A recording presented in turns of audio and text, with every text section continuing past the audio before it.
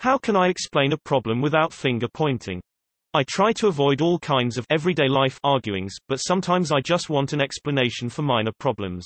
Why are you late? And, you know where we keep documents. Why put it in a different locker? Should have responses like, sorry, I got into traffic. Or, ha ha, I didn't realize I did that. That's how I see and do things. Instead, I get, why are you blaming me? I hurry so much and you give me this treatment. Blah blah.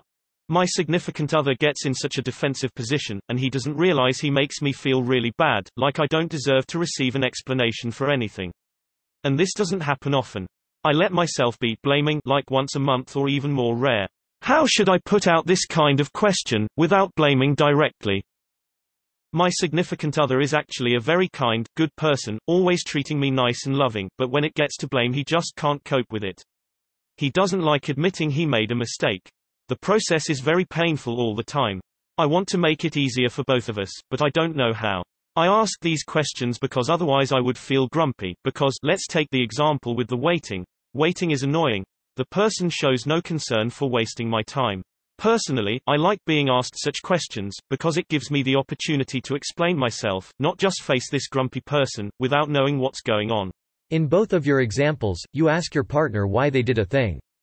This is not explaining a problem at all. It's announcing a problem and demanding they justify or explain what they did. I am not sure that's helpful. Perhaps knowing why would help, if there was a good reason. Perhaps it would not. The thing about questions is it really gives people a sense of pressure to answer the question. And if you don't really want the answer, then the pressure upsets people. So, take a moment and think about what you're feeling and what you want to say.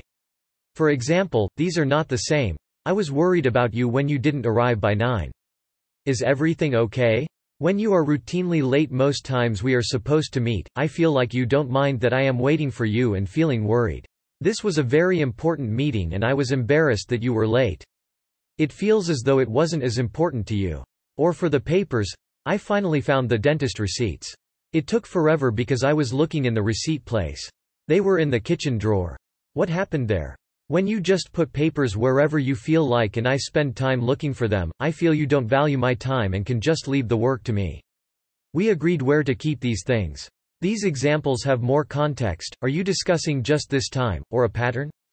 They include details about why you care where the papers are or why your partner was late. And they don't always ask a question. They start a conversation about the thing you want to discuss. They don't start with blame well, some of them come close and they don't make the partner guess what your issue is. If you want to have a conversation about these things, phrasing like this helps that happen.